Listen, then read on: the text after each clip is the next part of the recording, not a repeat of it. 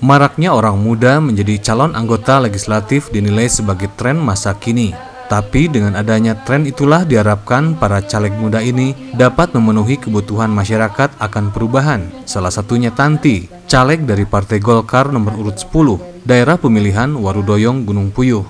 Sejak ditetapkannya oleh KPU melalui DCT, Tanti langsung tancap gas dengan menggelar sosialisasi Salah satunya adalah pengajian rutin yang digelar di kediamannya di Jalan Babakan Sirna, Kelurahan Benteng, Kota Sukabumi.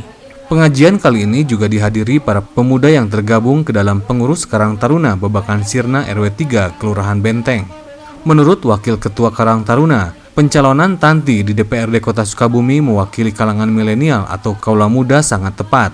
Kepada Tanti, dirinya menginginkan adanya perubahan keterwakilan perempuan serta adanya kesempatan pemuda dalam berkreasi di kota Sukabumi.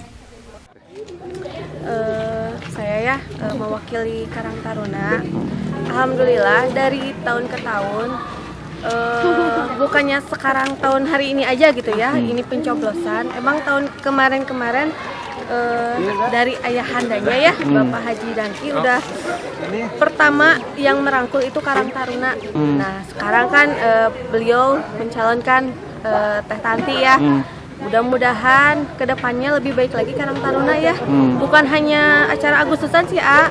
Acara pengajian, acara apalah per hmm. perkumpulan anak-anak, pemuda-pemudi uh, RW 3 gitu ya. Hmm. Maju gitu.